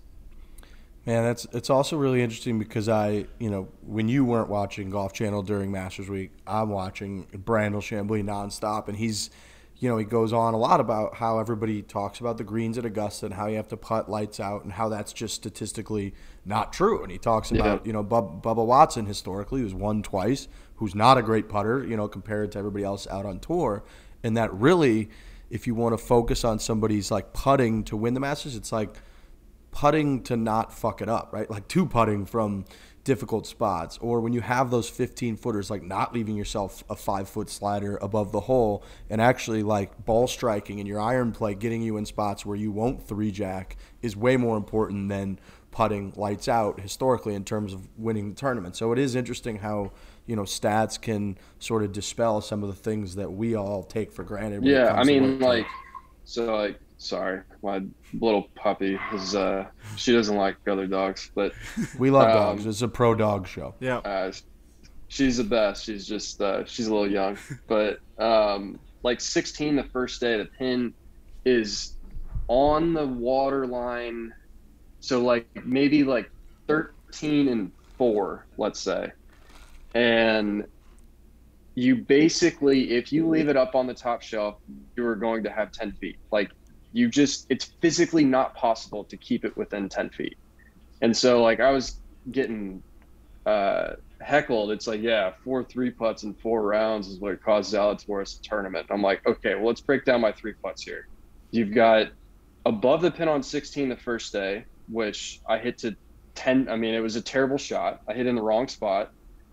Uh, 10 the final round 50 feet above the hole with 10 feet of break um, the guy must have counted one from off the green on uh, four, which was 75 feet with downhill a ridge that went left, and then it actually goes back right about 10 feet or right about six feet for the last 10 feet at the end. And then I had another one that um, I'm trying to think of which one it was, but like the four three put, or the four three putts that I had were literally because I hit it in just absolute atrocious spots. And I mean, I I, I had I had actually two putted one on 14 from like a hundred. I mean, it was literally back left pin, front right, and so you can think of all the massive hills in the front. And I literally was like, I have to hit this thing so hard, I might chip this. And I might be the one guy that just takes a massive crater out of the green at Augusta and never get invited back. mm-hmm. And so I hit it as hard as I possibly could, and I didn't even get it up. I mean, literally, it was almost going to come back down to my feet, but I had to make like a 35 footer for a two putt. Like, and, but it's and, like I just put myself in the bad, like put myself in bad spots, and it's like, yeah, I mean, you have to do something crazy to to two putt, and it's it's historically correct that yeah. I mean, if you break down the run that I had, um, I think it was Friday night or Friday uh, on the back nine, I one putted my last nine holes, and it's like if you break down where I was, you're like, I mean, the toughest putt you had was like a 20 footer straight uphill. So, I mean, other than that, I'm like missing it. You know, short sided just off the green and have a super easy chip. So it's just it's really interesting. Like even as I was going through it, there's a little luck involved for sure. But I'm like of lucky I missed it there. I mean, you know, just because it's like all these guys, there's so much local knowledge, and I've tried to gain as much as I could over the years from playing there. But it's just you know when the greens are running 14 and you're basically putting down the sides of hills and whatnot, it's it's there's a lot going on. It makes it it's it's funny because it makes it interesting and tr- very tricky, I guess I would say, from a statistics standpoint, right? Because it'd be very easy for someone to pinpoint that as like, oh yeah, if Zalatoris had just putted a little better instead of those three putts, he would have he could have won. But that's not true. Like if you would have hit those hit those uh, iron shots, wedge shots, approach shots a little bit better, you wouldn't have been in spots where you could three putt. So it's like you could kind of deduce it however you really want to as a statistician. But if you know, if you actually like watched and know, you would understand. Like you said on 16, like you're you have no chance of getting it inside of 10 feet when you're yeah. right on 16 and then from 10 feet you're less than 50% on the pga tour. So really you're like less your your iron shot puts you in a position where you're less than 50% chance to like to two putt yeah yeah now i just remember the other the other one i had was actually on 13 and i had like a 90 yard wedge shot that i hit to like 40 feet. I'm like you should make six if you're gonna hit that bad of a wedge shot.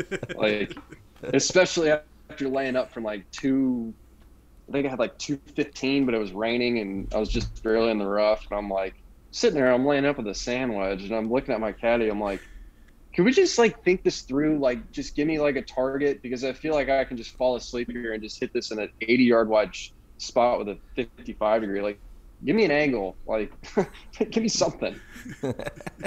um, did you mess anything up at Augusta Masters Week, non like golf related, just Augusta related? Like, did you walk into the wrong spot? Did you say the wrong thing? Did like? Um, yeah, obviously you obviously could tell immediately. so I, I mean, I never, I mean, never been in the press room. You know, I, I they did one of those like little quick uh, interviews off the, or kind of right by the first tee, and so they say, hey, we're going to take you to the press building on Friday, and um, I knew I was going to be in the last group, and I was like, cool. And so I they take me to the press building, and it's just it's incredible. I mean, it is just absolutely. I mean, you're going through tunnels there, and oh, it's just the stuff they have in there is amazing. The build out is incredible, but I don't know what I'm doing. I mean, I, I've you know, I've seen the interviews. I mean, I've you know, I've seen the guys without their hats and seen the background. I have no idea where it is, whatever. And I just I walk in, take my hat off, put my phone in in the little cubby, and I'm like, cool, all right, it's ready to go. And I literally I just opened the door, I was about to walk into the into the press room, like, no, no, no, no, no. And I'm like, uh, sorry, I, I, you know I've never been here before. I'm new to this. And he goes, we walk in first. So, yes, sir. Okay.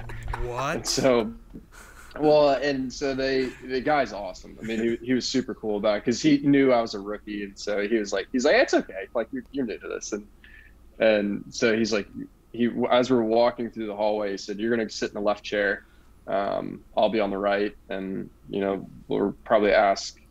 I think he gave me a precise number, like it was like seven questions, and then uh, and then it's it'll be uh, you know it'll be time to go, and I just I was so like awestruck by everything. And you know of course like when I open the door it's like no I walk you know we walk in first. And, yes sir. You know sorry you know. And the best part about that is it's like you hear all the stories about Augusta and um, how everyone's always scared about you know walking on eggshells there. Like they're so nice. It's like just ask a question and they don't care. But it's like you know you still don't want to you know ruffle any feathers by accident or whatever. And you know if if he didn't stop me, I would have just walked right into the press or right into the you know chair and just probably sat in the wrong chair and hey guys, and what's like, going on? Yeah, what do you want? Yeah, what's going on? People yeah. would have shrieked in the background, yeah. like, "Whoa!" Yeah, yeah. just a trap door so, comes out, you just fall yeah, through the floor. Probably, probably yeah. I probably would have figured out something was wrong when all the press guys are like looking around at each other, like, "Look at this guy! He's in the final group of the Masters. He can do whatever he wants. Like, look at this arrogant jerk." What are the tunnels like? Tell us a little bit about the tunnels. We hear so much about them. I want to know just a little bit more about the tunnels. Yeah, so I wish I knew how long it took them to build it, but I want to say it took them literally one off season to do it, um, and they just popped up one year. Um, but what I was told, and this is not by any Masters officials, but what I was told is that you can fit 18 wheelers in there to bring in merchandise and food, Jesus. which I'm I'm pretty convinced you could do it. Um, really? but Yeah, it's yeah. you know they're air conditioned. They fit in with the um, the architecture of the club. It's uh, you know because I I mean I, I still don't even know where the hell the, the locker room is because you take a tunnel and I don't know which direction it goes. Like if I did not take the tunnel, I don't know where I'm going. I think the locker rooms were left of the range, like way left of the range, but I'm. I have Yeah, no you just idea. go underground, and then when you emerge, you're just at the locker room. Yeah, so when we took, so I would we'd go into player parking, hop on a, a shuttle. They would go left of, um, they immediately turn left, so you're driving actually towards the clubhouse, and then there's a shuttle, but then it goes down underneath, but it arcs like I think it goes underneath the range at one point, but then underneath the road left of the range, and then it pops up left. So that's why I'm so thrown off, is because it's like you do like an underground circle all the way around. You, Um, Jesus. you are but, I talking mean, like they- you're talking like a guy who was blindfolded. Like they just keep you going in different directions where you don't know where you are. It's just it's so cool man. Like like they, they just do everything just so i mean they think of everything. I mean it's just you know like i walk in and every locker room attendant knows the players. Like they know exactly you know hi mr zalatoris. You know hey great birdie on 13 yesterday. I'm like what? Yeah. whoa.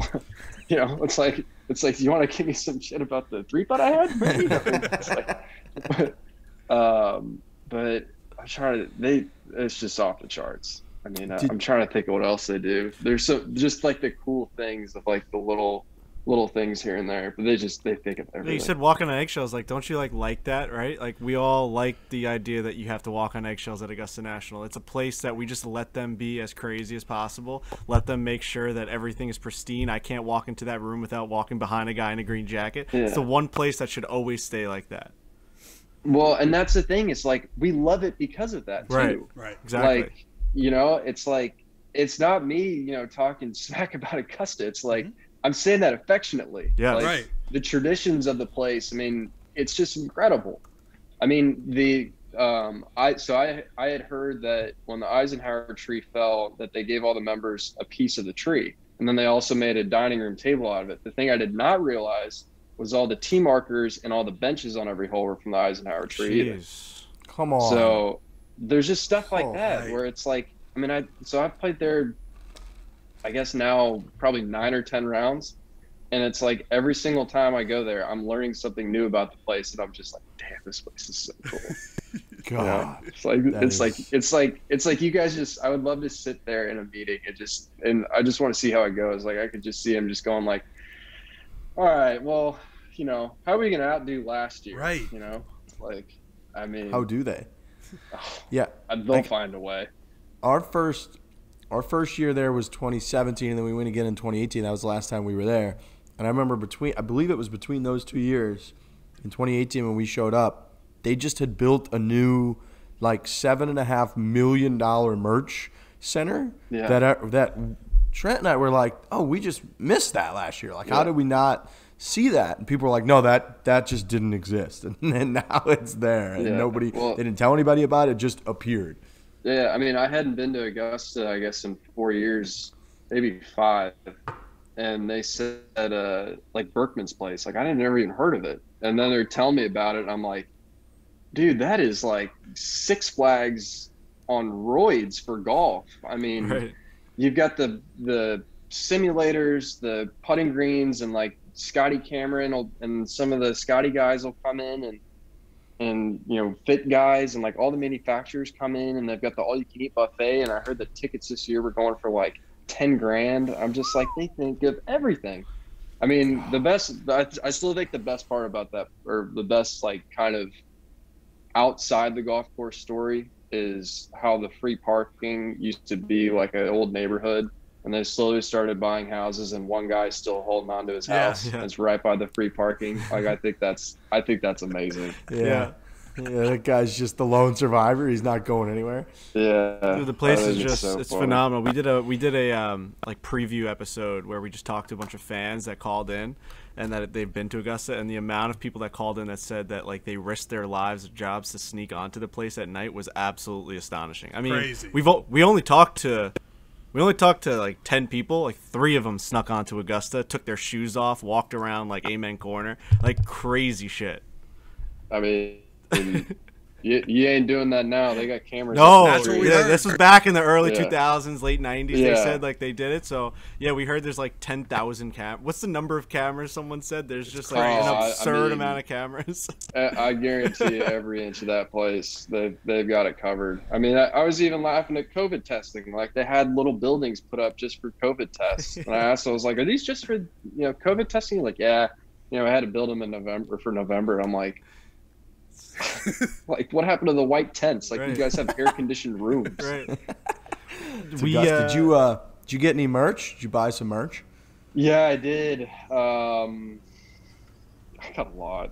Um, I, I didn't go, but my parents and fiance went, and we got a bunch of stuff. I, I mean, I I have to be like the biggest snob ever, walking around with like a Masters coffee cup. Now it's like you know, if, like I, I I'm scared to wear the ma- the Masters face mask because it's like if anyone's gonna if anyone sees me out wearing it, they're like, look at this guy. I mean, my God, he's got one good week, you know, he's still living off it. I mean, so I I try to tame it down, but they had some cool stuff this year. They had the um, they had T-shirts that were like for all the sandwiches that that they make. So yeah, the, then this was like they're like collectors things where it's like the only the one year you can do it. But I did get the Scotty Cameron Masters putter too. I know Frankie's going to Um, get something Augusta right now. I feel like. Did you go get something, Frankie? No, the some that. Um, Oh, now we Oh, can't now we hear just can't hear you. Oh, here we no, go. Now you're on He's mute. on Sorry, mess. it's a whole thing. No, they're doing the lawn outside, and like I, it was just the guy came right up to the window. I'm like, it's just gonna be an issue, so I ran. into I almost ran and got my Master's coffee mug. I got one of those too. That thing's sweet. I got the flag behind me. I mean, that's yeah. See, everybody gets. You can merch. spend a lot Yeah. of money in, in, on that merch. Oh my god! Oh. Well, I, the the Scotty Cameron collector's putter. Um, I know a bunch of guys collect them, and so I was like, yeah, I'll get one. I mean, hell, I, I don't know if I'm ever gonna be back here. I mean, you know, we'll see. You never know. So I was like, yeah, I'll get it. And so my coach Troy Denton is like, yeah, they're normally like 300 bucks. And so I told I told my mom and dad I was like, yeah, just go go get one, and you know we could ship it back. And they like put it up on the counter, and it was like 7.99. And my my mom called me. She's like, "You sure you want to do this?" I'm like, "Yeah, I mean, why not?" And so like we had a couple friends over there, and it's like if he's not buying it from you, I'll buy it from you. So it's uh it's a pretty. I mean, it's pretty cool. I mean, the old leather handle where Oh, you got to take sure. the take the head off to you have to put it up through the bottom of the shaft and screw the top on. I mean, it's pretty sick. Wow. I mean, it's a no-brainer. That's awesome. Gentlemen, let me ask you a little question. What uh, what's the first thing that comes to mind when you see me holding a little something like this? Deliciousness. Tasty snack. Best Well- golf course snack you can have.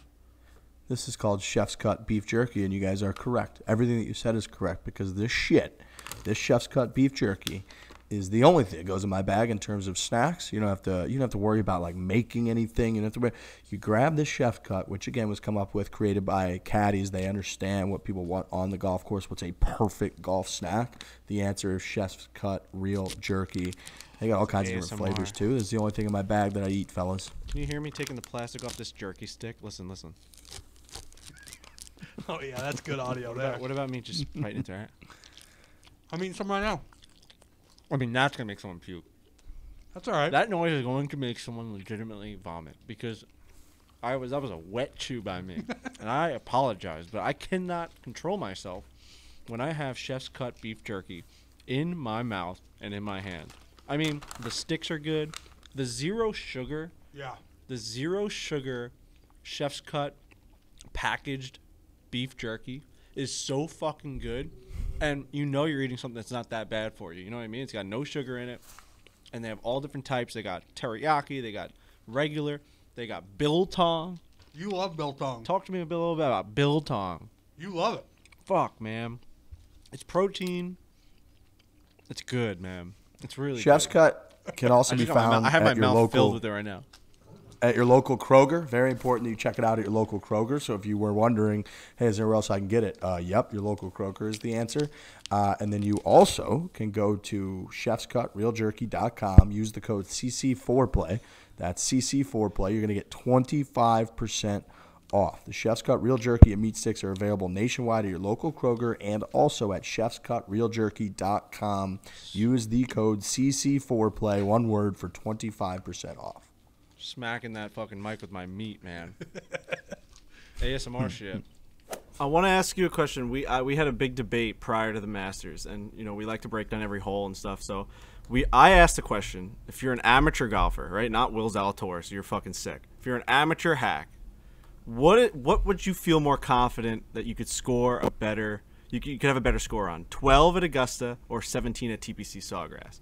For the average golfer stepping up to that tee, what hole am I making a better score on? 12. Thank 12 you, Will. Thank you. 17, like, so here's the thing about 12. As long as I can coach them.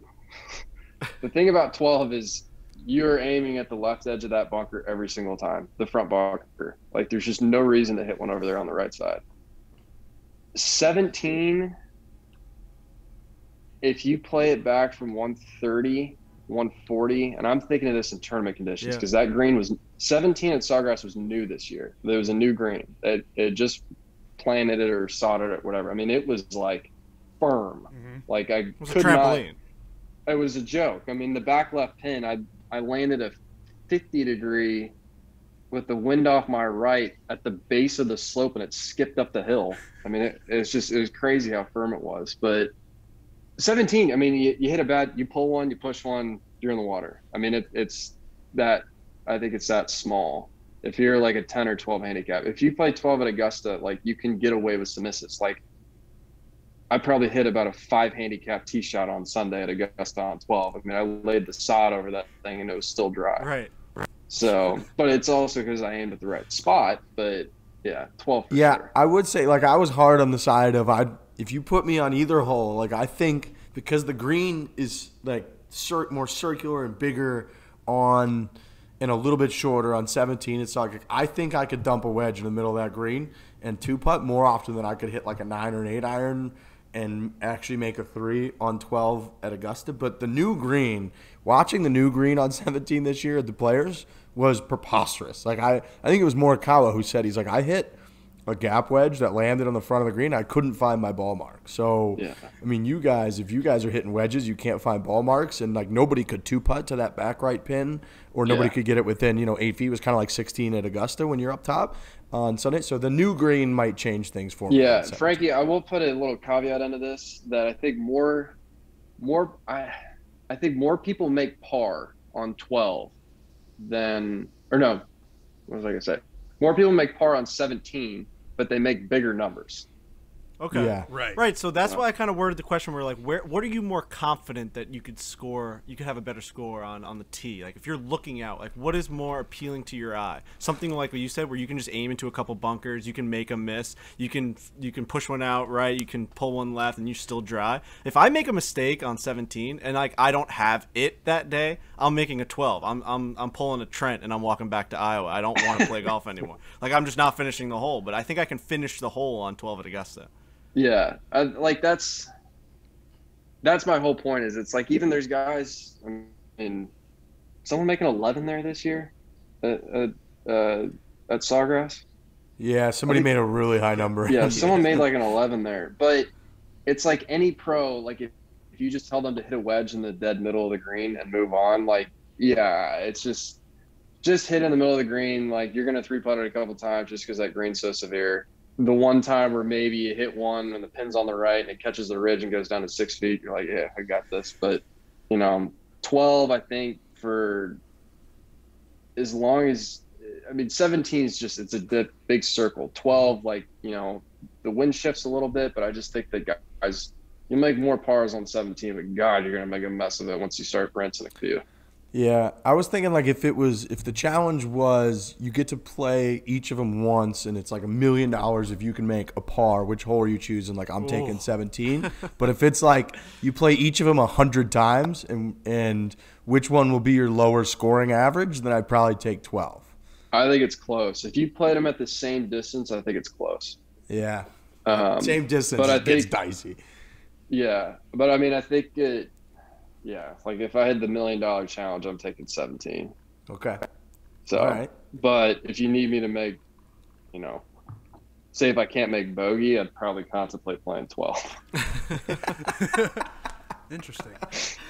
Um, what was the? If, is there one moment where you were the most nervous over a shot or a moment during the Masters this year? Um, I would probably say first tee, either first day or third round. Um, I think it's just because it's like I'm probably gonna go first tee, first round actually, because I think it's just you know fore please now driving. You know, you just I've heard that for so many guys, and then all of a sudden they say your name, and it's like you know, I almost kind of looked over at my caddy and I'm like, it's pretty cool. Like, you know, like kind of wanted to kind of admire it for a second, but I'm like, you still got to hit shot. I mean, still got to show up. But I was laughing because I had like, I had like a 10 footer that was like uphill, but then it was kind of like catching a ridge for birdie on the first. Had a great shot in there.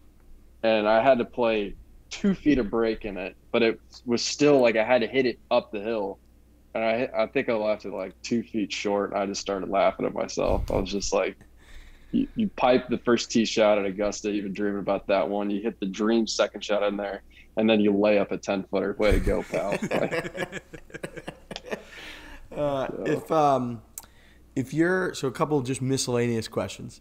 What is like the farthest carry yardage on let's say a par five that you would decide to go for it? Like what's a what's the number where you're like, okay, I can carry that. um, yeah, I mean, no wind, dead flat. Probably, probably 30, 305 Hmm. off the well, like off the tee. You're talking off the Okay. tee or for the second shot? Either one, like it's just interesting. Like, either one, I want I want to hear that thought process. Like if you Well, got to so the carry tee off the tee.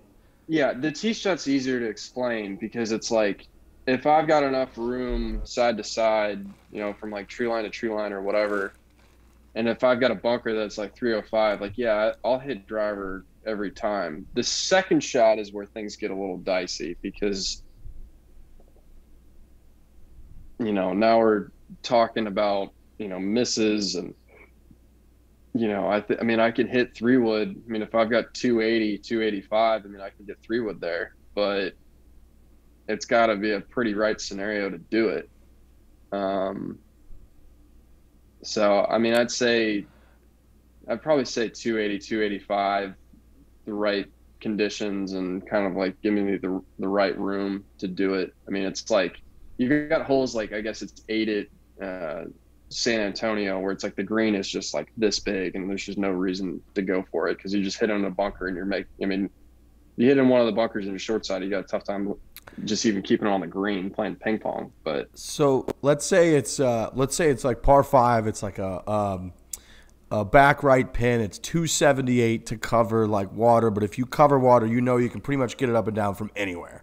Like, are you comfortable being like I'm pulling through it and I'm just roasting it over that 278? yeah, I mean, you're you're talking dream shot there for me. That's like.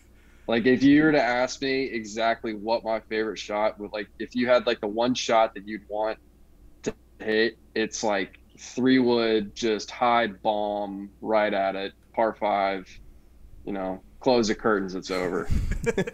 yeah. I, like that's yeah. that's like I've gotten asked that question before. I've given it every single time, and I, yeah, I the whole three wood. We've 18th hole at Dallas National. It's that exact scenario, and I I mean I love that shot so much. Uh, that hole has made me some some nice side coin. So you like to just send it with the three wood off the deck. Yeah, I I love I love that. I mean, just hitting a high, just bomb out of the sky, knock it in there tight. That's probably why my par five scored was just complete trash. Just because I'm like You're trying to it. hit something to the moon, and like Yeah. in my mind, I'm thinking of the Tiger twirl. I'm like, oh yeah, this is gonna be funny. Plugs in the bunker, nice six. Speaking of the twirl, we uh, you know I brought up the the twirl has gotten out of control on tour. It's gotten out of control. When we're watching the Masters and they don't, we can't see exactly where that ball's going, and I'm watching you guys. Maybe not you specifically, but I see a twirl. It better be Tiger-esque where that ball's right next to the fucking pin because we're gambling. We're at the we're at the Barstool Sportsbook. We're in Philadelphia, and we're like, we need a we need a birdie or better on on 13, and we see this guy twirling. It's on the back of the green. We're like, he's not making a fucking, he's not making a birdie. What's going? Like, what is happening? I I I, I need to hear about what goes into your mind when you when you do the twirl. Like like is it immediate right after contact? Are you making sure that thing's right next to the stick? Talk to me through it. So here's the best. I'm here for you on the twirl thing. This, th you'll love this answer.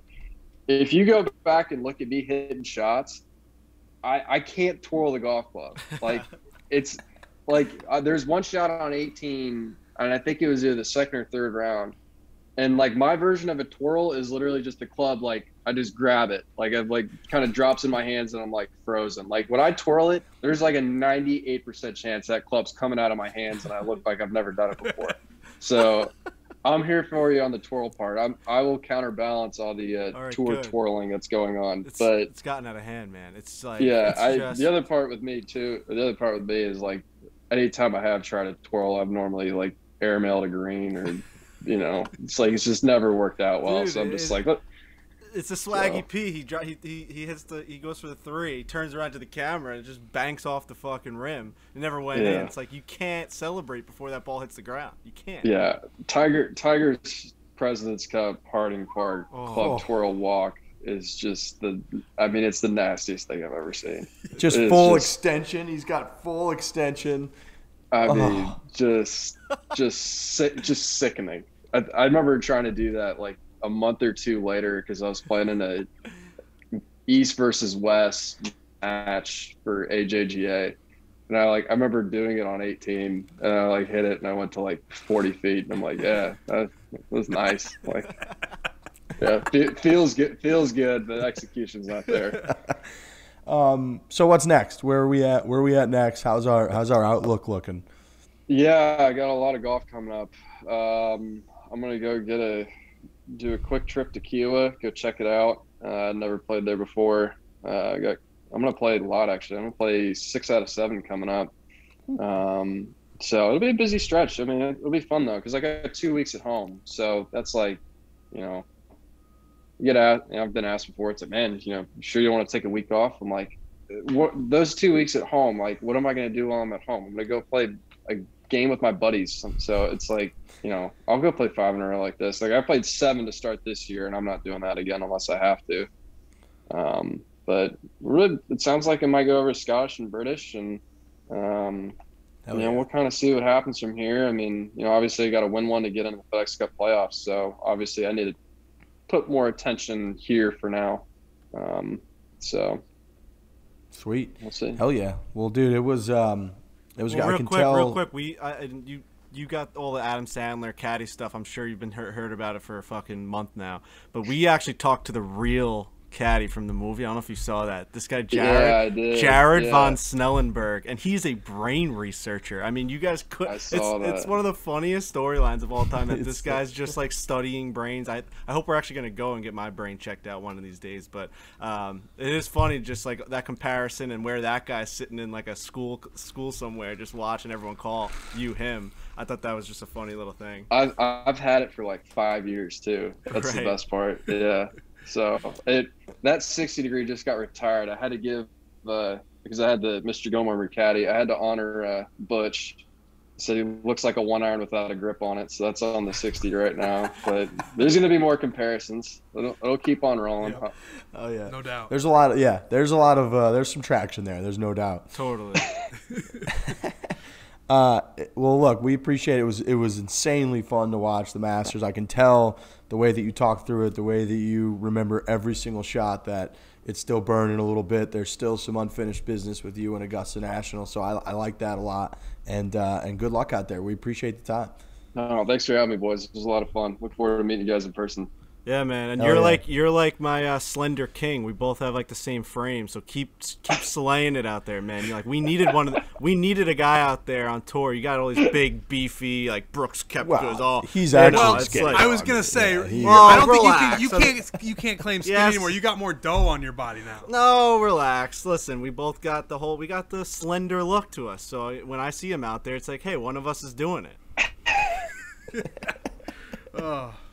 I'm here for you, Frankie. Thanks, bro. I appreciate it. You know, we're looking time, forward man. to seeing you at a tournament, man. Yeah, you're you're you're uh, up and coming superstar, and we're uh, very excited to have you on the show. And thanks for the time, man.